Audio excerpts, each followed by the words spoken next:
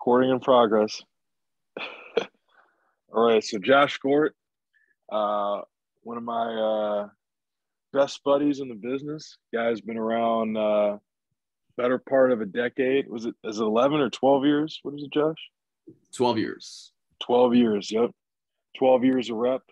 Uh, uh, even had a stint in management there. Josh is over a million, over one million dollars in career sales. When they send you that ring yet, Josh? You got the bling? Where's the bling at? Do they? Nobody's reached out about a ring, so uh, I I don't even know what's uh, happened. Right. That well, Ruby I, ring I, in progress.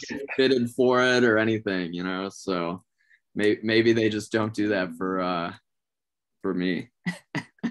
well, well, Ruby ring in progress for Josh. Ruby ring in progress. Um, but uh, but yeah, Josh is also a uh, musician. So Josh, aka Ransom Jones, living out his dreams, uh, sings, plays guitar. So make make sure to check him out on uh, Spotify and any other platforms. There, Ransom Jones.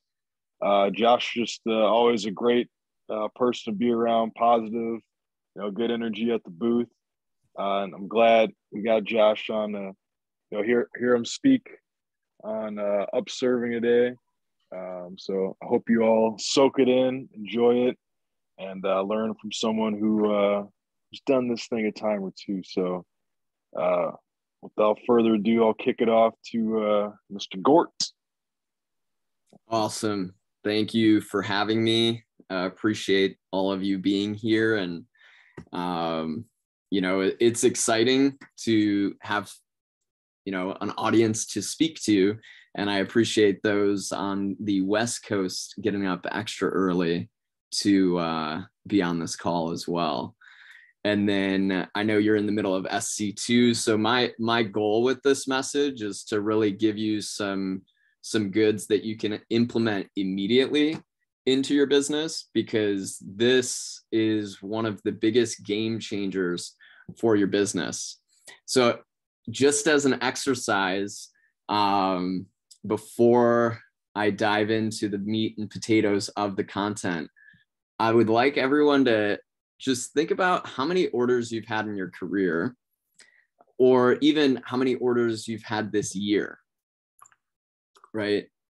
And imagine if you could increase the averages on those orders an extra 150 to 200 dollars right? So I want you to actually look at maybe how many orders you've had this year or do a quick estimate based on your sales and your average order. And and just write down what is it that uh, you've sold and number of orders. And then if you were to multiply the number of orders by an extra 200 CPO.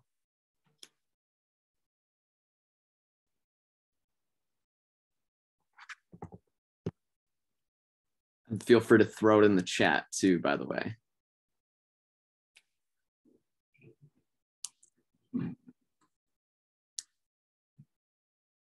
And then if you really want to have fun with it, take that number of CPO that you'd have extra and times it by the extra commission that you would earn. So based on the percentage that you're at, what would be the extra commission that you would earn on that?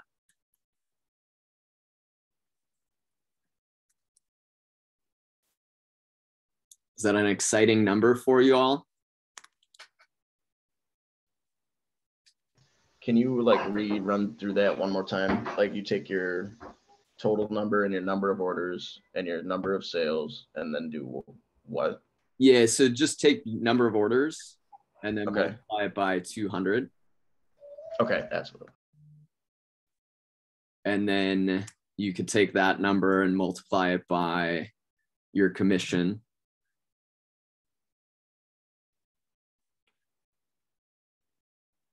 and that's what doing um, learning this content and increasing your average order through upserving will do and guess the best part about that if you can add 150 or 200 dollars to every order, guess how much more time it actually takes you to do that? Yeah, not, not very much. You know, two minutes, five minutes uh, to just pitch another package or pitch another program. And you know, some of this is going to be mindset, some of it's going to be content, and then I'm also going to just share. Uh, Matt Graves, he gave a great talk at Net about upserving that I'm going to just share his notes because it has a lot of the kind of interest phrasing and one liners that you can be using. And as I was giving this, putting this message together, I was looking at how much content that there is out there on upserving. And it reminded me that it's never a lack of knowledge on why you're not good at something at this job right? There's always a wealth of available information that you can be utilizing and getting better at. And what I find with a lot of reps, it's lack of implementation. And so my goal is that you, you know, get better at implementing. Like if you if you take nothing else from this message, whether it's you know you take some upserving nuggets or whatnot but i want you to get better at implementing information because by getting better at implementing you'll just naturally get better at everything else in the job and sometimes i feel like the reason why we don't implement or even why the reason i don't implement things is because there's too much information Anyone agree with that one? Like, what do I start with? And sometimes within Cutco, right, it's getting good at in events, get good at new customer, get good at past customer, get good at handling objections, get good at upserving. Upserving is one of those things that it's going to move the needle the most in a lot of your business. But if you're not good at closing, you might need to get better at closing before you get better at upserving. However, you still want to make sure you're getting good at upserving because it's something that's still will really move the needle for you. Now, if I was to ask you, uh, what are the rules of upserving? Does anybody know those already? Besides Tuck. Yeah, feel free to just interact. Yeah. So I mean, did you want me to raise my hand? Actually, sorry. Oh, I'm, um, yeah, I mean, isn't that where you just kind of like suggest, like, well, I noticed that you'd really, you kind of would use this. Oh, you're vegan and you eat lots of squash. How about the hearty slice or something like that, right? So, so that would be part of the process of upserving for sure um, not necessarily one of the rules. I I guess it could be a, a rule, which is always to offer something, um, which that is one of the rules. Would would one of the rules be to already close them on something? So you're like upserving if somebody already said no. So like would it be to first close? Yep. So rule one is close the order, right? Because you don't want to be upserving something before you have an order closed right? You can talk about packages and programs and you know position things but it's always easier to upsell more after you get the initial order closed. So get the credit card is is the rule right get the credit card and if you're doing it on the app you know like that's okay you can ask for the credit card before you get to that phase of uh, writing like filling it out in the app because then you can have the credit card and still add more to the order. And once you have the credit card, uh, Deanna Scortino, she says that's where it's game on. Because most reps, what happens is they they get a credit card and they go, oh, like it's over, like I got an order. That's when you should go, oh, now how big can I get this order? right? And sometimes that's just by asking for more packages, kind of how you were saying, Stephanie, like, hey, suggesting different things. So get the credit card is rule one. Rule two is always offer. If I were to ask you, you know, how often are you asking for another upserve after you get an order? What would it be? And if you're not asking 10 out of 10 times, then you need to get better at asking for additional upserves. And that that's part of what we're going to teach you on how to get good at this. But just even tracking, hey, did I ask for an upserve on every order? And I do this, I had a show this last week and I was looking at my orders this last week and I was I was like, did I ask? Did I ask? Did I ask? And making sure that I asked. And then I was just looking at, oh, cool. How much did I upserve based on that? So, rule one, get the credit card. Rule two, always offer.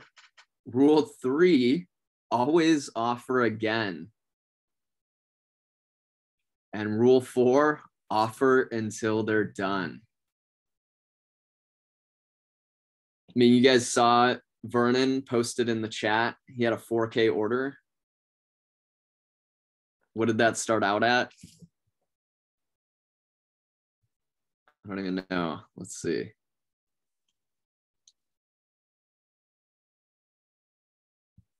So his order started at 15 clubmates, upserved two flatware place settings, upserved 10 pizza cutters, upserved uh, shears, upserved a basic homemaker set, upserved a five piece set, and then so I don't know if he started at the shears and then went up from there or went down. It sounds like he started at the shears and probably up on everything else. So it's exciting, right? One one phone call probably took him, I mean, knowing Vern, he probably took like 30 minutes on that call, just watching him work at the booth. But uh it's exciting, right? And it started with something that was probably a 100 CPO because the customer is the only one that knows how much money that they have to spend. And your job is to help them spend that money. And then a lot of times, too, after you're done closing, it's the what's next conversation and planting seeds for whatever's next. And sometimes when you're doing that, you can actually create more interest today for that order, right? Sometimes they're like, oh, I didn't know you had this, right? And then I might switch and position into pitching cookware after I closed an order and after I was like making them feel good about the order. And I, I was listening to a call yesterday by Brian Carter on upserving. And sometimes we go into upserving too quickly that we need to give the customer room to breathe. So once you close an order, it doesn't mean like, hey, right away, I'm going to go upserve. right? Like some some reps, they just go, all right, now it's time to upserve. Make the customer feel good about what they bought. You know, reassure them that they're making a great decision by buying Cutco today. Hey, Angela, you're going to love your Cutco today. You're going to have it forever. You're going to use it next 20, 30, 40 years. It's going to be a new thing that you can pass down to the kids. It's going to be amazing.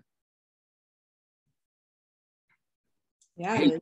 Just so you know, and this is one of my favorite upserving lines, just so you know, one of the things I love to do with my customers is make a wish list of anything else that they like. This way I can keep it on file in case it ever goes on sale. So just so you know, one of the things I love to do with all my customers is make a wish list of anything else that you like for yourself or for gifts. This way, if it ever goes on sale, I can keep you in the loop about it, or I can let you know. and you know sometimes it's just upserving is also just paying attention throughout the the demo or if you're at the booth paying attention to what the customer is looking at or if they're if you if I see a customer pick up flatware and I'm demoing knives, I don't necessarily go right into a flatware pitch, but I make a mental note, make sure that's probably the first thing I observe. Or if they say, Oh, I love the cookware, or Oh my God, you have cookware? Oh, yeah. Yeah, I can definitely tell you about that um, here, here in a little bit. And what's cool is if you if you bundle that, that's where you the savings get really crazy. And then I transition back into the knives because so many times I feel like what'll happen is a confused customer never buys. So if I'm trying to like pitch cookware, and there will be times where I just feel like that's the better opportunity. So I will transition there, but I want to create the most CPO in the smallest amount of time. So where is the highest CPO um, going to be created? Is if it's knives, I'm going to go and stay focused on the knives. And so I'm going to give you some of the interest phrasing and some of the lines that Matt Graves has. But what I would say is with upserving, what is your kind of 30 second pitch on each package and program? Do you know what all the packages and programs are?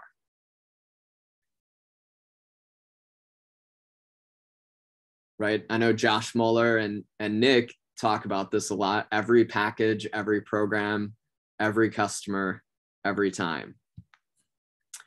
So we sell knife sets, we sell cookware, we sell flatware, we sell family program and gifts, we sell business gifts and realtor gifts.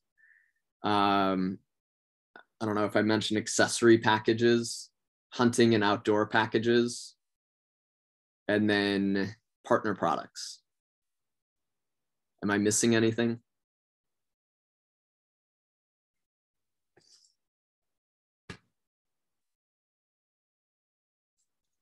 Say upgrade. Knives, upgrade. Oh, yeah. And so with upserving too, what's your first go-to upserves? You know, what are your kind of back pocket specials? And there's different philosophies on what to upserve first. Sometimes it's just upserve something they're like most interested in first. So if they showed interest in the scissors or showed interest in the steak knives or showed interest in some of the gadgets, just knowing let's say they they bought a set on a five pay hey oh mr jones i know you you said you love the scissors there and you might add them down the road. I mean if you just add them today they're 25 bucks extra or 30 bucks extra on the five pay. Or whatever it is 125 divided by five. Would you would you want to just add those? Hey miss jones i know you you mentioned you you really like could use some steak knives. I mean by the way the more you get the more you save i mean if you just add these here today it's just right if it's like 320 what's 320 divided by 5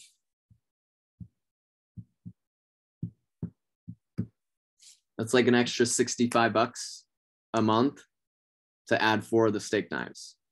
Would you want to do that? And sometimes the thing with upserving, just because they say no to one offer doesn't mean they're not interested in other offers. Have you ever said no to something and then like, oh, I, I'm trying to think of an ana- analogy. I think about like when you go out to eat like somebody's like, oh, do you want this appetizer or this appetizer? You're like, nah, I don't want that. But maybe you like the main course more than everything else, or maybe you're more into dessert. So each person's kind of into different things. And so just because they say no to maybe a small upserve doesn't mean they might not be interested in a bigger upserve of like cookware or flatware. And the other thing to remember too when when upserving, it's something you're doing for the customer. People love to buy, but they hate to be sold. And when value is higher than price, people buy. And it's remembering like what is it, what is their pain points for whatever package and program that you're selling? You know, what is the solution that you're offering for the customer? Because there's so many times where like we want to sell something where if we just solve a problem, the customer is going to sell themselves on why they should get it.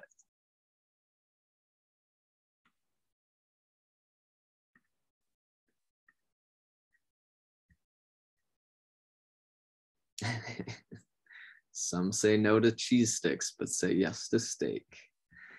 Um, yes, very true. And so um, within upserving too, think about hey, if you're selling like a five piece, what can you do to upserve that to a homemaker set? Hey, Miss Jones, I know you, uh, we got you started with this set here. You're to love it. Hey, by the way, I know you might, I know you mentioned this would be the set that you'd want to do eventually down the road. I mean, if you don't mind, um, I can show you what that would look like real quick if you were to do it today. Or, hey, if I did something a little extra special for you to do this today, would it be something you might consider? And this is after you close that initial order. And you might have done that to close the initial order, like, hey, I did something extra special for you. But it's making the customer feel good throughout that process. If you sold a homemaker, could you upserve it to an Alti set?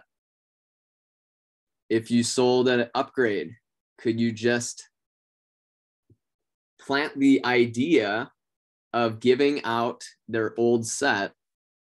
Like, let's say they had a homemaker initially and you sold them an upgrade at the booth. What if you go from that upgrade to just a brand new ultimate set? Hey, Miss Jones, what a lot of customers like to do is they actually they just get the whole brand new set instead and then gift out their old set to one of the kids. If I did something a little extra special and went above and beyond for you, would it be something you'd be open to? And sometimes it's just getting them open to the idea of it. You know, so remembering to have fun through the upselling process. Because if you feel stressed out or if you feel like ah, anybody ever feel like that in closing breathe okay because if you feel that way, guess how the customer feels? Right. And how do we want the customer to feel? Relaxed, easy, fun. So sometimes with upserving, I might say, oh, hey, just for fun, can I show you what that would be like? Or, hey, just for grins, can I show you what that be what that would be like? And I'm not giving you necessarily all the interest phrasing for every package and program because that's going to be in the Matt Graves document that I share. And if you have questions, I can, you know, go through any of it, by the way. Um, and then one line I, I think I learned it from Fonz was, hey, if you see yourself uh, doing it down the road anyways, it'll take like a minute to show you. So it'd be worth it to just check it out real quick. Because sometimes it's just getting them interested or open to hearing about it because then Cutco does the work for you.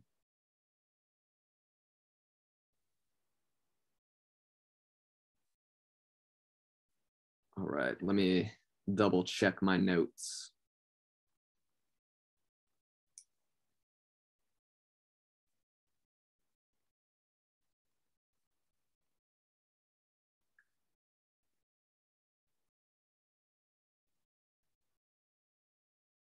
And then I'll pause there. Any questions on anything I covered so far?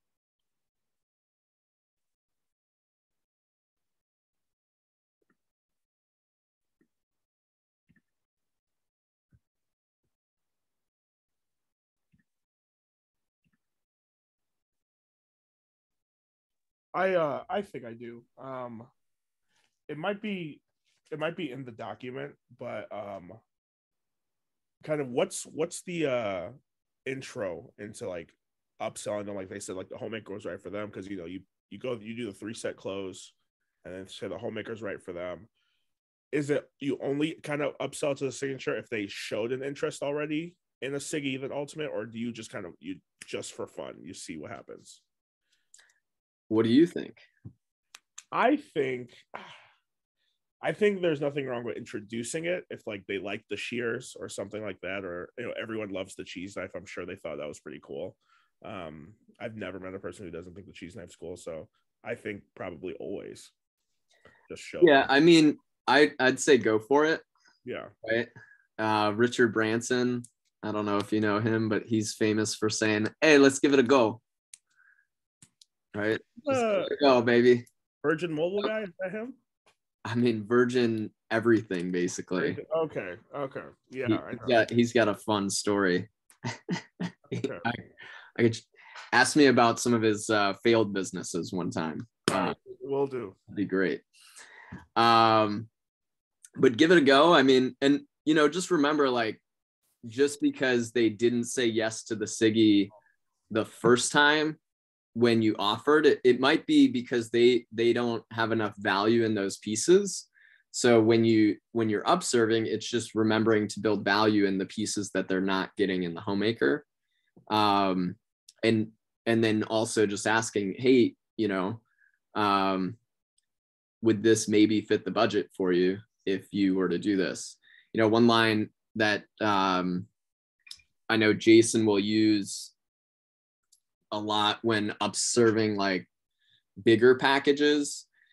He'll he'll use it to kind of gauge whether or not to even pitch the package, and this is typically at a busier show.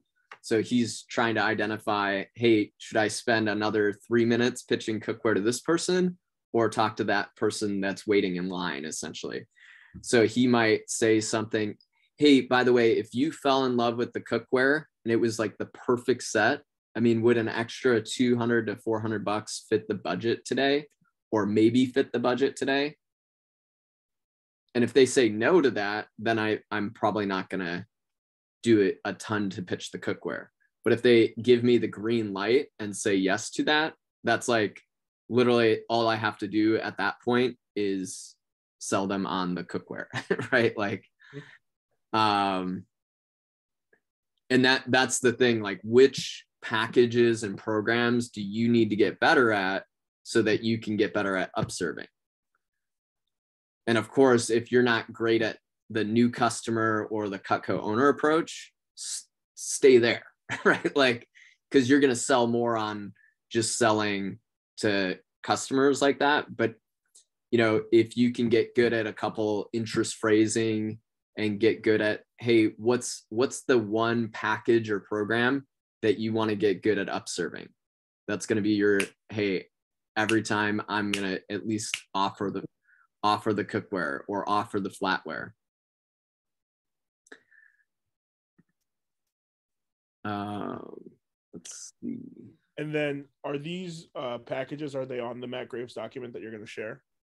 Yeah, so it's and I know I'm not necessarily giving a lot of one-liners here. I'm Sure. gonna I'm gonna throw it in the chat here. Um and you guys can see it. Oh lord. Why is it doing that to me?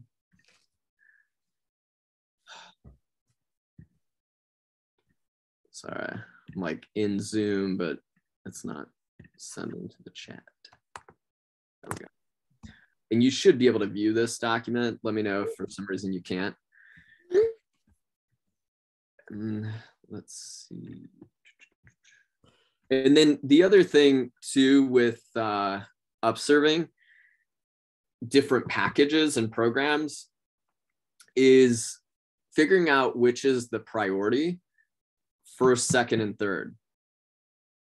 So I might ask, you know, hey, in, in a perfect world, of course, you would have everything Cutco. Um, just so I know which would be more of a priority. Would it be more the the cookware next, or more like the flatware next, or more like the accessory bundle package next? So that like helps me if they're interested in a couple of the programs, but maybe it's not in the budget for all of them, then I can identify, hey, what's first, second, third? And I'll make a note of that. So then I know one, I'm going to try to close on whatever their first package is first. But then second and third, I'm going to have a note for the next time I see that customer.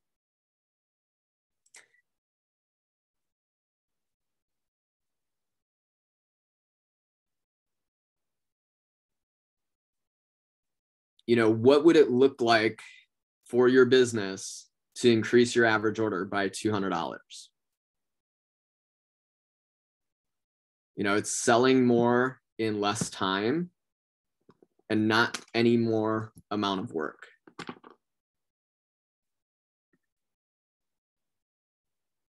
And then you really become a consultant to the customer and not just a salesperson.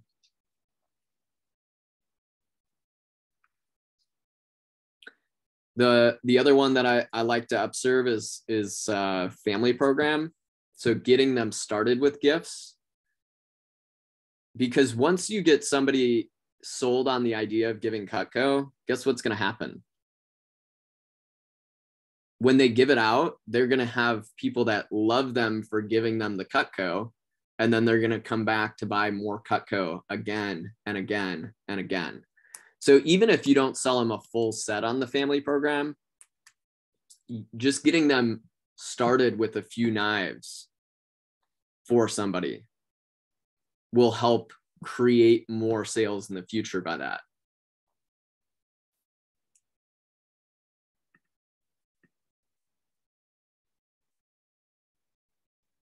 based on your orders so far, Tuck, or very nice. So, and that's yeah. the thing too with with upserving is let's say you don't close them on a big package deal, but they have interest in cookware. Get them started with a few pans. Hey, you know what a lot of my customers do is they try out a few of their favorite pieces. And then whenever you want to upgrade, you can just upgrade to the rest of the set which ones are your couple favorite pieces? Okay, can I show you how that would look? And it just asking for permission to show them. And what's the worst that they're going to say? Get out of my house. I hate you. no, they're going to say no, right? And same thing with flatware, right? If you can't close a full chest because maybe it's out of the budget. Hey well what a lot of my customers like to do is they like to get started with uh, at least a four four piece place setting or four four or five piece place settings. Can i show you how that would look real quick? And then with the family program giving gifts sometimes it's also giving them ideas on how they can use it. So I tell a lot of stories. Yeah, so one of my customers, they actually bought three of these homemaker sets for their daughters, but they they didn't gift it all at once. It, she kind of taught me this actually. She uh, gifted it out over time, so she turned it into multiple gifts. So instead of it being fifteen hundred dollars on one gift, it became a hundred to two hundred dollars per gift and then she had gifts for the next three to five years. And you want to know the best part about it? Literally her daughters are always looking forward to the next piece of cutco that they have.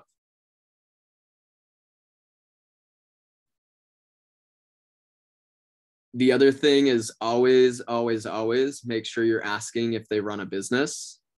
But it, it's not even if they run a business it's do they work for a company that gives gifts you know, I think so many people learn the business gift program and are like, oh, well, if they don't uh, run a business, I can't sell them gifts.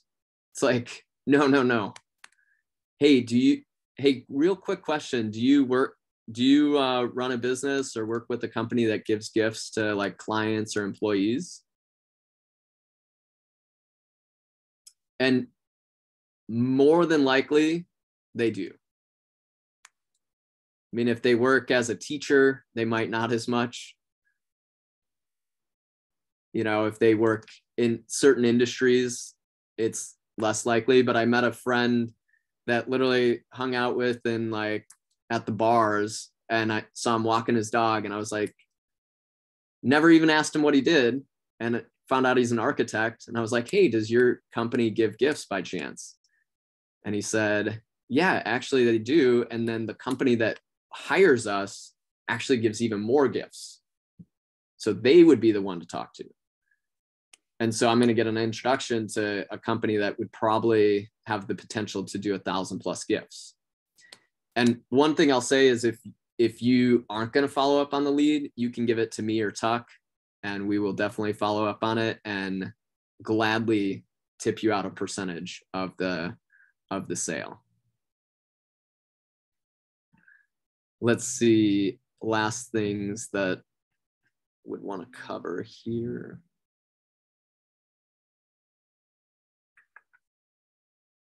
So remembering the remembering the uh, wish list, right? And hey, I do this with all my customers.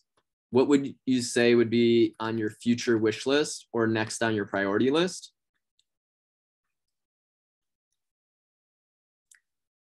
Um, Another thing that's in the document is talking about 10 pays or 15 pays. So sometimes it's the customer, they can afford $400 a month, but putting it to $800 a month by adding cookware or flatware might be a little bit of a stretch. So you might ask something, hey, if there's a way that we can get you this with the deal, and it be $400 a month, would that be something you'd be open to? And then what you do is it's essentially writing up two orders, right? So you'll write up the first order, process it today, and then the the cookware order or the flatware order would be going through six months from now and you just want to make sure you have proper systems to make sure that that order gets entered six months from now. And then what you do is you just explain to them, hey, by the way, it's just part of our layaway program. So once your uh, fifth payment's done, your sixth payment will will hit, and then that product will be shipped out. And then it's just, you know, the four more times of this. And I don't do that a lot but it, it's a way to add an extra package because I'd rather have CPO today than CPO six months from now. But it is a way to, you know, if if for some reason it's it's too much today, but they're definitely interested in it. And then what you're doing is you're you're not having to follow up six months from now to be like, hey, do you want to add that? It's already queued up.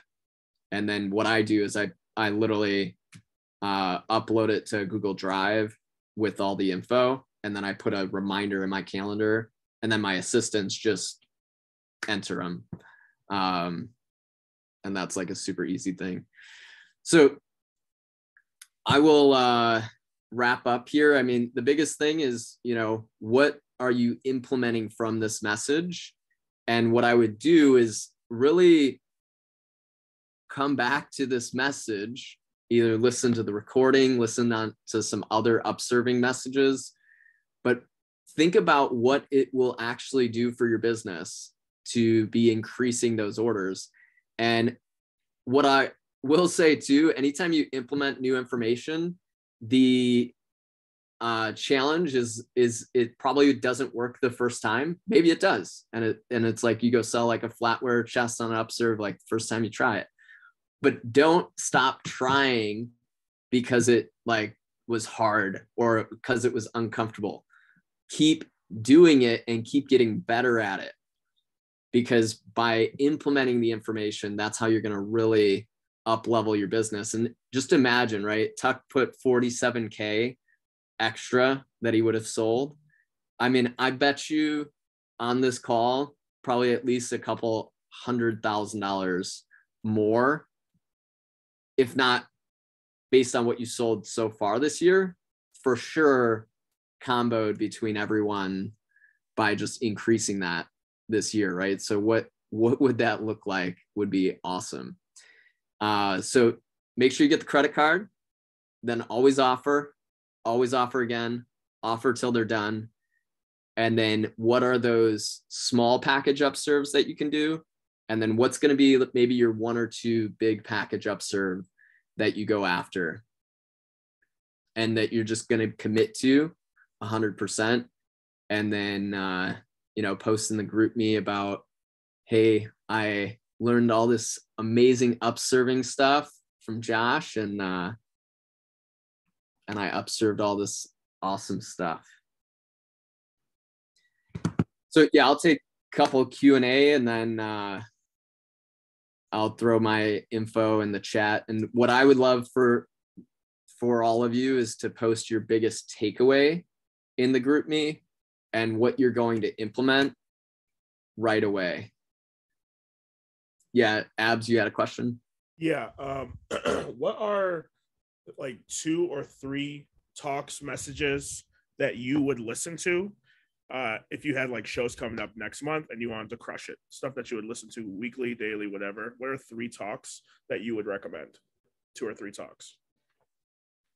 Um, I mean, it it depends. It's probably different for everybody. So I get well well rounded just on I don't know handling objections, you know, closing at the. I, would- I would I'd probably listen to any of the net audios on like new customer, um, or Cutco owner. Personally, I'd probably do yeah, I, I would do either new customer message or Cutco owner message from net, which if you guys don't have like the Cutco events app, I would download that. And then um but I'm sure if you post in the group me asking about, hey, where can I find these messages? Cool. I, I can send you some playlists too, I'm sure.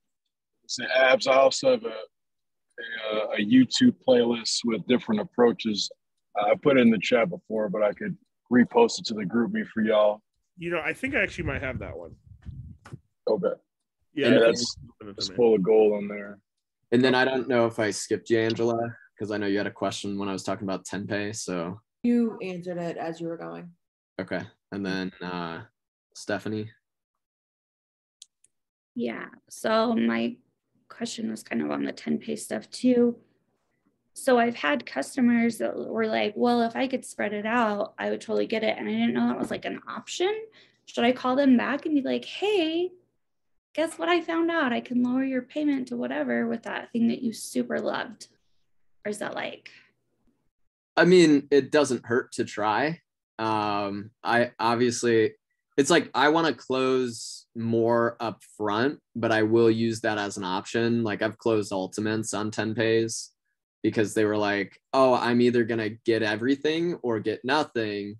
right? couldn't afford the whatever like the 650 and i was like hey mm. if we can if we can lower your payment a little bit where it would make sense in the budget and you still get everything that you want would that be something you're open to Okay. And then you just have to break the setup at that point.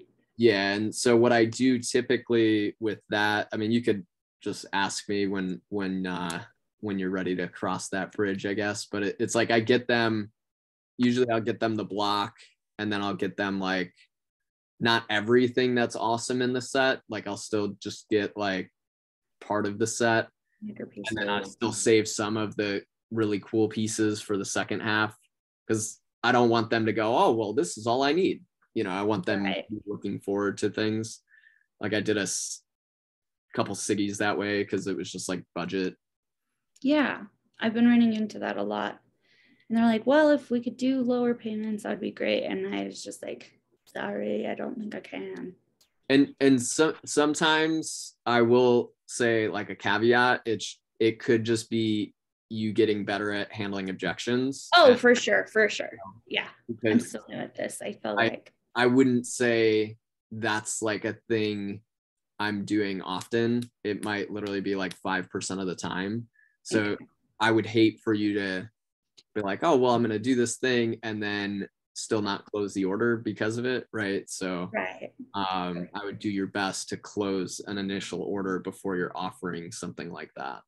Awesome. Okay, gotcha. Thank you. hmm Any other uh, questions? Or maybe if anyone has like a key couple takeaways that they wanted to share, just because it uh, people might go, oh, that was actually really good. I didn't write that one down.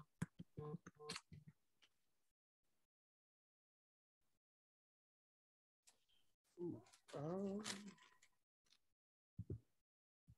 so I liked the um at the beginning. I thought that was really good where you said uh, after you close, don't jump right into well, just so you know, you can add 20 bucks a month and blah blah blah. it's give them room to breathe, reassure them, hey, this is awesome. You're gonna love your Cutco. You get to pass it down to your kids, kids, kids. You're gonna have this for the next 10, 20, 30, 40, 50 years um, and then they're like, "Yeah, this is awesome," and then you right jump right into just so you know, just for fun. Um, if you added this or I saw you like this, I like that because I don't think I've ever done that. I definitely have been like, "Hey, I know you like this. I like, oh, I got the credit card. Awesome. Just so you know, you like the shears. That's an extra, you know, twenty bucks a month for five months. Would you like to do that today?" I've definitely never reassured them. I think that's awesome.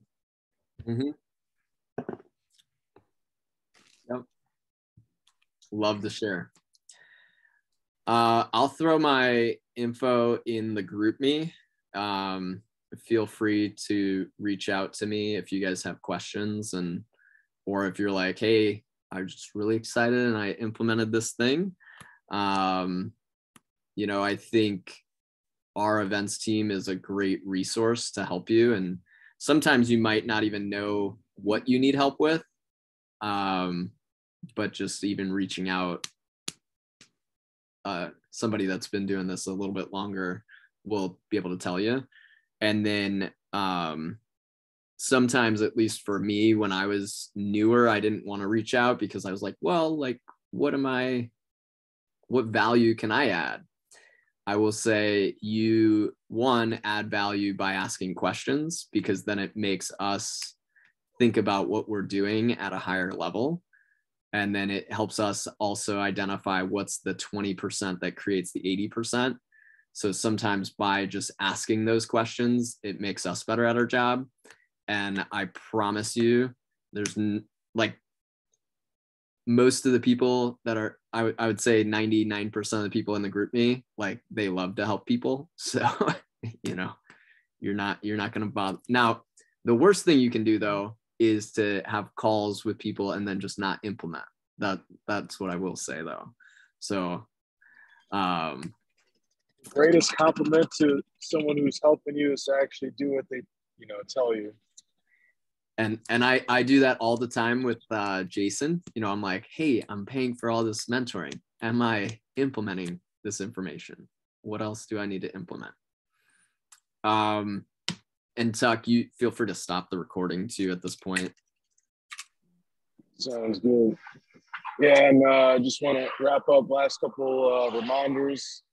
Uh, one, again, like Josh said, make sure to post your takeaways in the chat. Uh, make sure to implement. Like I said, it's the biggest compliment you can give to a speaker.